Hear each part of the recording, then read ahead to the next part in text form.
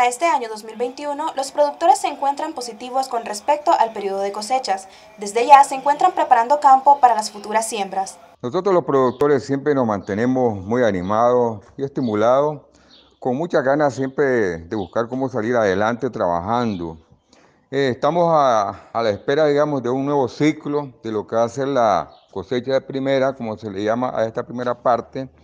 Y creo que las condiciones pronto, Dios lo quiera, que se van a dar con las buenas lluvias, digamos que ya se están, se están pronosticando. Nos sentimos animados haciendo las preparaciones que se requiere, digamos, en el campo, como es, digamos, ir limpiando la tierra, eh, arando. El que tiene la posibilidad de utilizar un tractor lo hace y si no, pues lo hacemos con bueyes.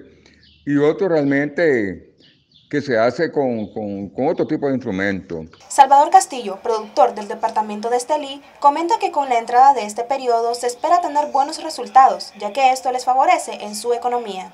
Eh, nosotros, digamos, como productores, pues realmente nos sentimos alegres cada vez que viene este ciclo, este ciclo agrícola, porque nos ayuda realmente a buscar cómo, cómo, cómo, cómo sembrar y ayudarnos realmente en lo que es la, en lo que es la producción para que nosotros podamos este, vender y generar un poco de, de ingreso. Se estima que con la temporada de lluvias los siembros cuenten con todas las condiciones para poder lograr una buena producción. Yo creo que tal como se está pronosticando en este momento, de que al menos vamos a tener este, buenas lluvias, debemos de tener, digamos, este, eh, las condiciones necesarias para que podamos aprovechar, digamos, todo este buen invierno que vamos a tener este año. Sin embargo, las alzas que se han dado en los insumos que se utilizan para el cuidado de las plantas les ha afectado y los productores lo consideran un alimentante considerable. Para que nosotros podamos tener, digamos, una buena, una buena producción, una buena productividad, diría yo,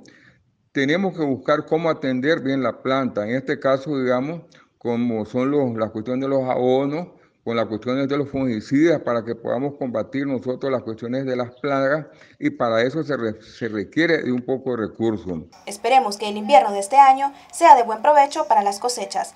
Para Noticias 12, Fabiana Plata.